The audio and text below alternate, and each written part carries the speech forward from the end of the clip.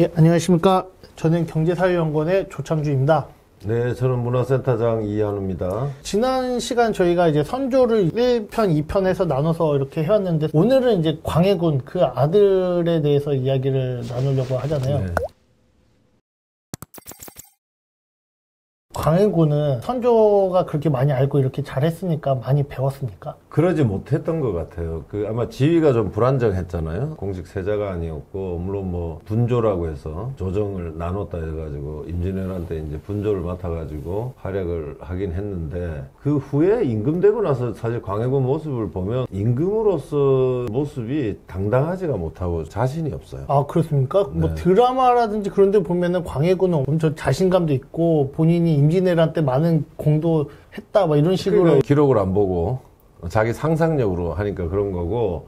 근데 이번에 보다 깜짝 놀란 게 광해군이 제위 한 십몇 년 동안 경연을 한 게 열 번도 안 된대요. 뭐 여러 가지 이유가 있는데 집권 초에 친형 임해군을 또 죽였거든요. 아, 몇 년 후에는 임목대비하고 선조 사이에서 태어난 영창대군을 또 죽인단 말이에요. 그 이게, 이게 이렇게 이어지면서 유교 국가의 핵심은 뭡니까? 혈친들이 가깝고 화목해야 그걸 기반으로 임금이 나아가가지고 신하들을 다스릴 수가 있는데 이거에 실패한 거에 대해서 이 사람이 일단 자신이 없었던 것 같아요. 그러니까 이제 아예 애초에 그런 소통 자체를 안 한 거거든요. 그런 것 같아요. 제가 중요한 거 하나를 뽑아왔는데 이게 뭐냐면 광해군 3년 됐을 때예요. 그 10월 14일자에 보면 당시 영의정 이원익, 이원익은 남인이에요. 남인. 어, 남인이기 때문에 또 서인보다는 좀 더 왕권 강화론자이기 때문에 광해를 많이 생각을 하죠. 근데 여기 보면 중요한 얘기가 나오죠. 우리 지난 시간에 했던 거하고 같은 건데 이원익이 이렇게 말합니다. 요순을 본받으려면 우선 조상을 본받으라고 했습니다. 선왕이 바로 선조죠. 선왕의 은총을 입어서 경연에서 모시면서 보니까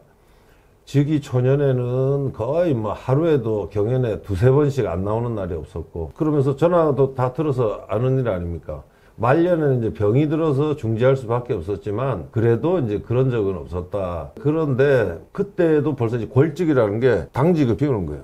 아, 예. 승정원에서 특히 승정원 어, 그런 일이 가끔 있었는데 그 지금 어떻게 왜 부지런하게 저 경연을 하지 않으십니까?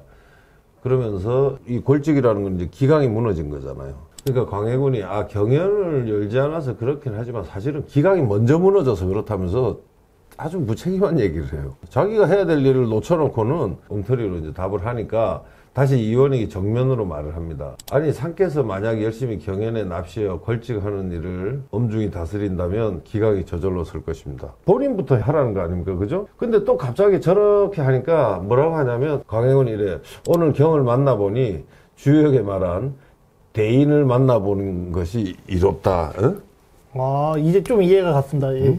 대인을 만나보는 것이 이롭다라는 것은 이제 건교에 나오는 말이거든요. 어, 건교에서 임금이 됐을 때도 임금은 제일 중요한 게 자기를 보필할 큰 대신, 재상을 구하는 게 제일 이로운 거고 또 밑에 있는 신하도 사실은 좋은 임금을 만나는 것이 이롭다. 뭐 이렇게 해서 이견 대인이라는 말이 자주 나오는데 그 얘기를 하면서 당신이 그래도 그런 말 해줘서 고맙다. 이런 정도 얘기하는 거예요. 근데 그때 이제 사표를 내- 낸 거거든요. 못하겠다. 어, 근데 이때 이원이 다시 예리하게 말을 합니다. 아, 이렇게 말씀하시니 이 또한 형식적인 말이라는 거예요. 이 말이 굉장히 전곡을 찔렀죠. 왜? 진짜 진심으로 말한다면 제 말이 그렇게 좋으면 제 말은 채택하고 제 자리는 잘라야 된다. 직격탄을 날리죠. 광해군이 사실은 제대로 답도 못하고 이러는데 이 이야기를 들어보니까 음. 결국 지금도 현재 뭔가 이제 문제가 생기면은 이제 대통령도 이제 대국민 담화라든지 이제 서로 소통하면서 이제 물어보고 답하고를 이제 같이 반복을 하잖아요. 이때도 그런 게 돼야지 약간 기강도 자리 잡힌다는 건데 그거를 안 해놓고서 기강이 무너졌다고 이야기를 해버리면은 안 맞는 거잖아요. 그렇죠.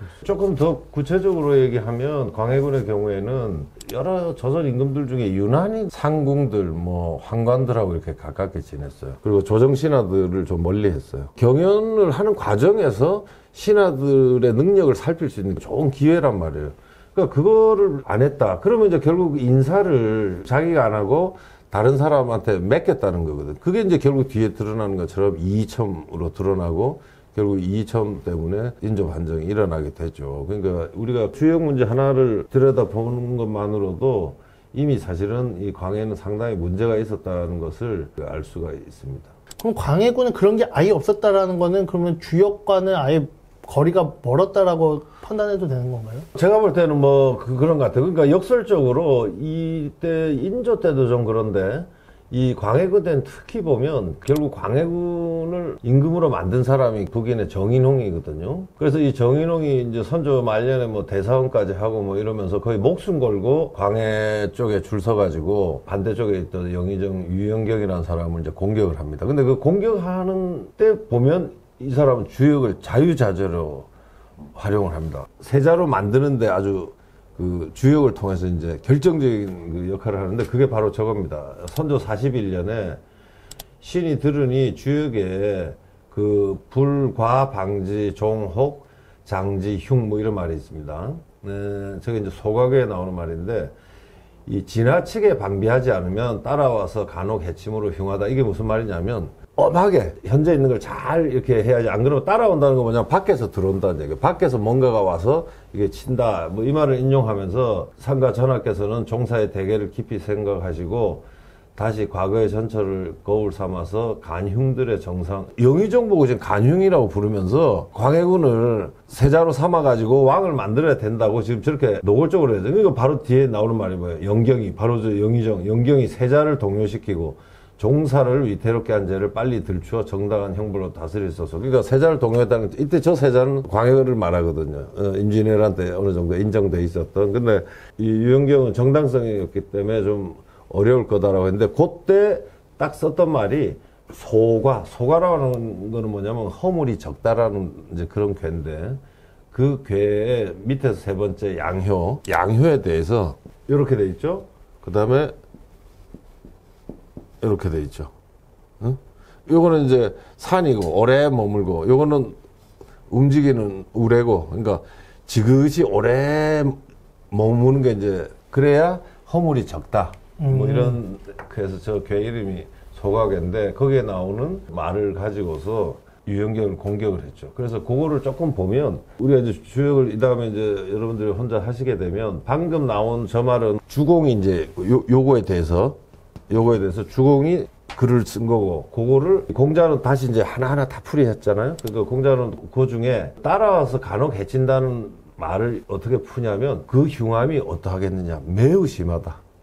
어, 그러니까 저것만 놓고 보면 상당히 이제 선조도 주역을 좋아하니까 예. 그럴듯하게 들리는 거죠. 그래서 저거는 제가 볼 때는 정인홍 입장에서 당시에는 주역을 굉장히 정확하게 쓴 이제 예라고 할 수 있고 광해군 얘기보다는 결국 그 시대 주역을 제일 정통했던 사람이 정인홍이기 때문에 정인홍 얘기를 하나 더 하자면 광해군 5년에 그렇게 해서 임금을 만들었어요. 이제 광해군이 올라오라고 경상도에 있으니까 올라오라고 하니까 계속 사양하면서 이제 상소를 하나 올렸는데 이거는 제가 볼 때 정인홍이 이 주역을 악용한 경우에 저런 거 조심해야 돼. 근데 임금이 지금 전혀 이걸 잘 모르니까 놀아나는 겁니다. 그게 뭐냐면 이런 거예요. 한가보군데 전하께서 자모 형제 변을 당한 것이 순임금과 정나라 장공이 당한 것보다 더 심한 점이 있으니 전하의 심정이 어떠하시겠습니까? 이랬는데 이제 왜 저 얘기를 하냐면 순임금이 바로 친아버지, 그 다음 계모, 그 다음에 계모가 난 동생, 이 셋이서 막 죽이려고 그랬거든. 그래서 지금 순임금의 그 얘기를 그대로 인용한 거예요.